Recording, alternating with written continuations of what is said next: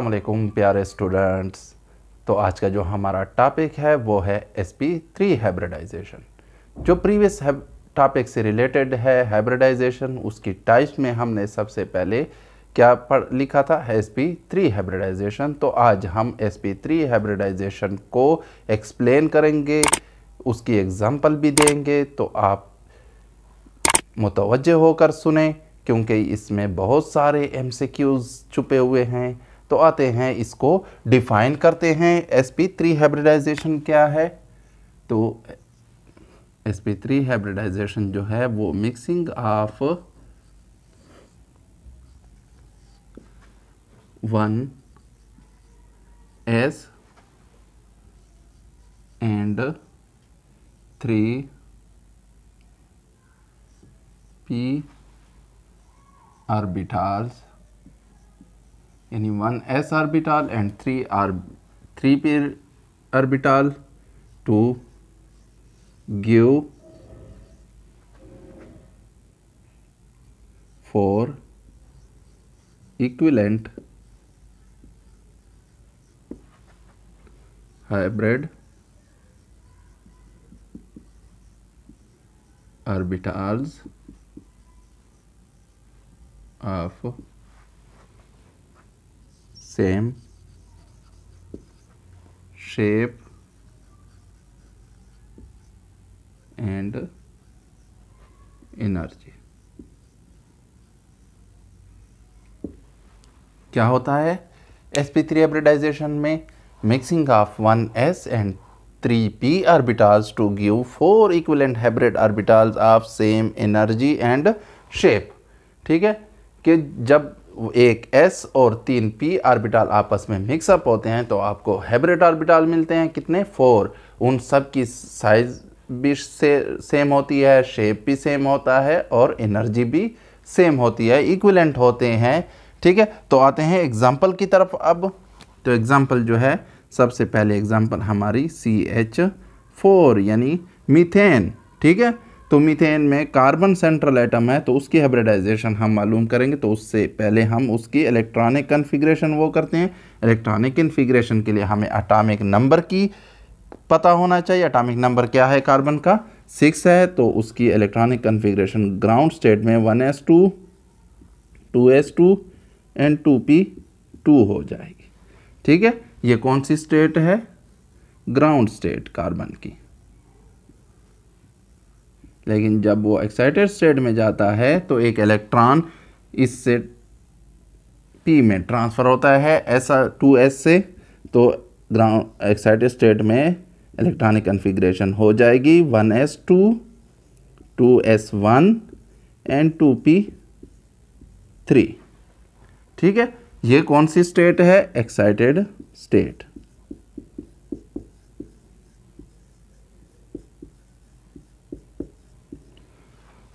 ठीक है? अब हम स्ट्रक्चर ड्रा करते हैं इसकी आर्बिटाल्स की two S and two P ठीक है? तो एस आर्बिटाल जो है वो स्पेरिफिकल इन शेप होते हैं टू एस ठीक है? और पी आर्बिटाल जो होते हैं वो डम्बल शेप होते हैं।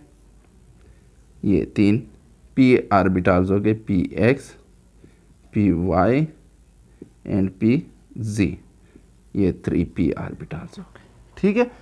तो जब ये आपस में मिक्सअप होंगे तो क्या बन जाएँगे? सब सेम शेप और सेम एनर्जी के आपके पास फोर हाइब्रिड आर्बिटाल्स आ जाएँगे। ठीक है? और इनका कॉमन नेम क्योंकि अब यहाँ पर डिफ्रेंशिएट नहीं कर सकते, कौन सा एस है और कौन सा पी है। तो इनका कॉमन नेम हम दे देंगे ये S P three hybrid orbitals ठीक है? टोटल कितने बने? फोर यानी एक एस और तीन पी आर्बिटल जब आपस में मिक्सअप होते हैं तो वो एस पी थ्री हाइब्रिडाइजेशन कहलाती है। ठीक है? ना नाम किस पर देंगे कि कितने एस और कितने पी आर्बिटल आपस में मिक्सअप हुए हैं ड्यूरिंग हाइब्रिडाइजेशन ठीक है तो उस पर हम नाम दे देते हैं उस हाइब्रिडाइजेशन को। तो यहाँ पर वन एस और तीन पी आर्बिटल्स मिक्सअप हुए हैं। ठीक है तो अब आते हैं हम इनका मीथेन का स्ट्रक्चर ड्रा करते हैं। तो इसको मैं साफ़ कर लेता हूँ। ठीक है तो आप देखें कार्बन सेंट्रल आइटम है, उसके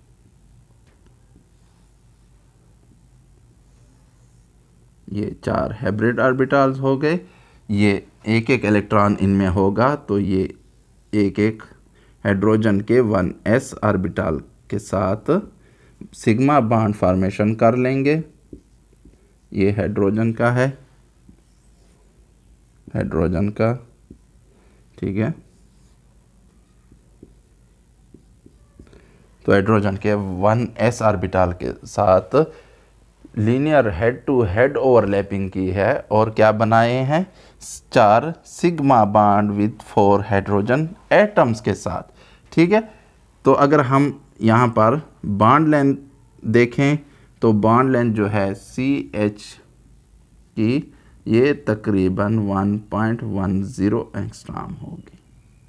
ठीक है, अक्सर बुक में 1.09 है, लेकिन रिसेंट स्टडीज़ ने इसको 1.10 एक्स्ट्राम शो किया हुआ है, ठीक है?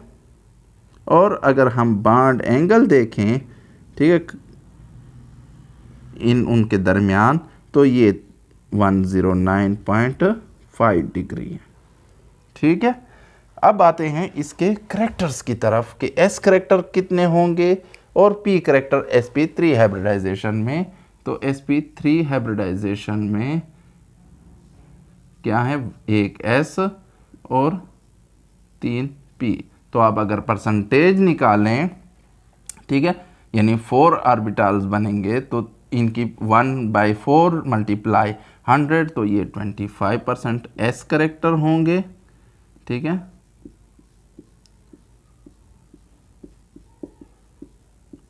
और 75 परसेंट पी करेक्टर्स होंगे।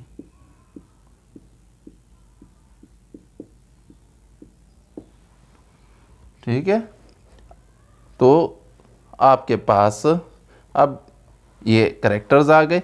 इसके अलावा अगर हम इथीन की तरफ़ जाएँ, इथेन की तरफ़ जाएँ तो वहाँ पर हम बाकी तो उसी तरह करेक्टर्स होंगे।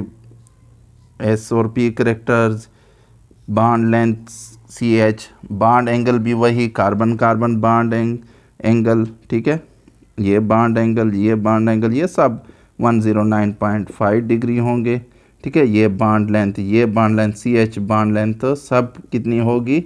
वही 1.10 एंगस्ट्राम लेकिन सी सी बाड लेंथ ठीक है? ये one point five four angstrom होगी।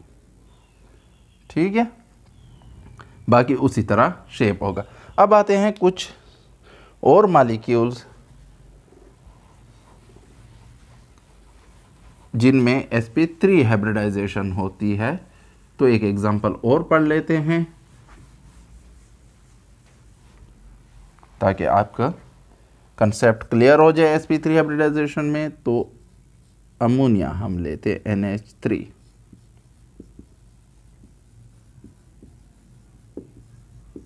ठीक है, प्यारे बच्चों तो अमोनिया में देखें, हमें पता है नाइट्रोजन पर एक लोन पेयर ऑफ़ इलेक्ट्रॉन भी होता है आउटर मोस्ट सेल में। तो अगर इसकी सेंट्रल हमारे पास जो एटम है, वो नाइट्रोजन है तो नाइट्रोजन की इलेक्ट्रॉनिक कन्फिग्रेशन देखें तो one S two two S two and two P three. ठीक है? सेवन टोटल इलेक्ट्रॉन होते हैं तो आउटर मोस्ट शेल में फाइव इलेक्ट्रॉन्स हो गए। ठीक है? तो अब ये हाफ़ फ़ील्ड है ऑलरेडी तो अब यहाँ से इलेक्ट्रॉन वो नहीं होगा। तो आउटर मोस्ट शेल में जो है एस कंप्लीट फ़ील्ड है, दो इलेक्ट्रॉन है उसके ऊपर। ठीक है? और जो टू पी है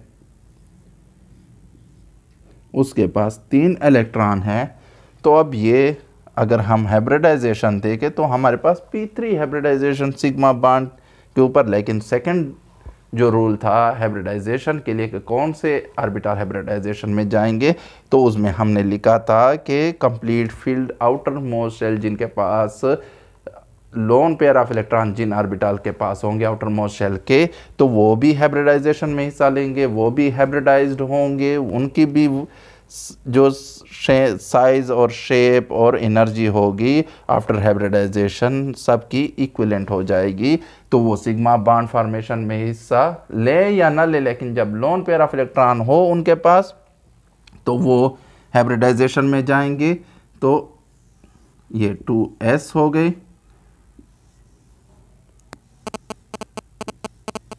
और ये तीन पी आर्बिटल्स हो गए तो ये आफ्टर हाइब्रिडाइजेशन सब की क्या हो जाएँगी? Same shape and same size तो फोर हाइब्रिड आर्बिटल्स तो ये भी नाइट्रोजन की अमोनिया में क्या हो जाएगी? Sp3 हाइब्रिडाइजेशन हो जाएगी और sp3 हाइब्रिड आर्बिटल्स आपको मिल जाएँगे फोर ठीक है? तो अगर हम स्ट्रक्चर ड्रा करें नाइट्रोजन की अमोनिया में। तो ये उसके लॉन पेयर ऑफ़ इलेक्ट्रॉन, यानी ठीक है। और ये उसके बाकी तीन S P S P three hybrid orbital जो हाइड्रोजन के साथ सिग्मा बाड बना लेंगे।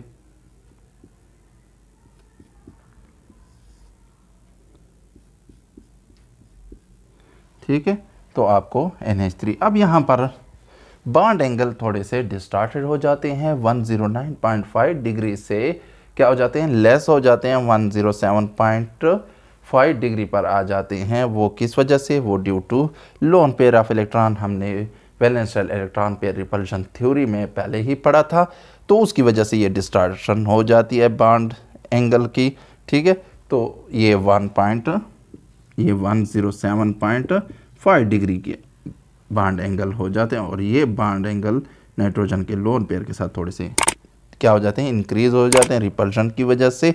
तो बाकी हाइब्रिडाइजेशन वही है एस पी थ्री हाइब्रिडाइजेशन है थोड़े से बाड लेंथ चेंज हो जाते हैं। इसके अलावा हम और एग्जांपल कंपैरिजन में देख कोई क्वेश्चन हो कोई कन्फ्यूज़न हो आपके माइंड में about S P three hybridization तो आप कमेंट बाग में पूछ सकते हैं। इसके अलावा फेसबुक का पेज भी है हमारा by the name of chemistry concept तो उसका लिंक भी डिस्क्रिप्शन में दिया गया है तो वहाँ से भी आप फॉलो कर सकते हैं हमें और क्वेश्चन भी पूछ सकते हैं।